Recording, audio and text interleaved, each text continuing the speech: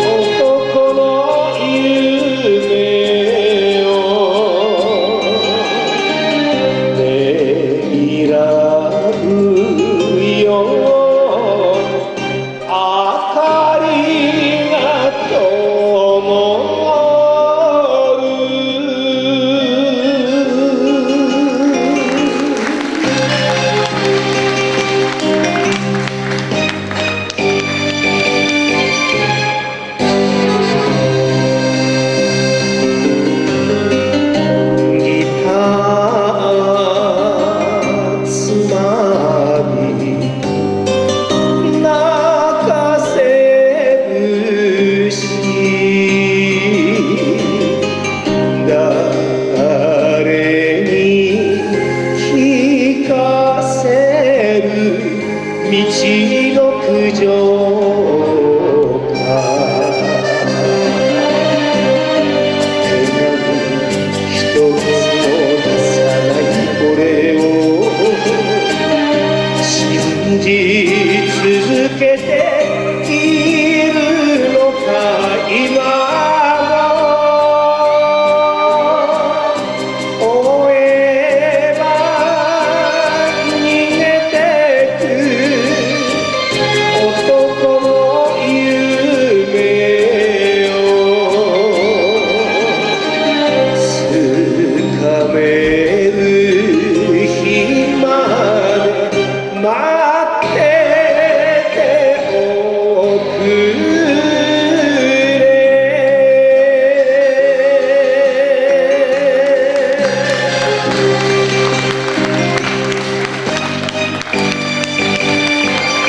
ありがとうございました紹介もしないでごめんなさいでしたはいあの花沢竹内さん踊りでございました。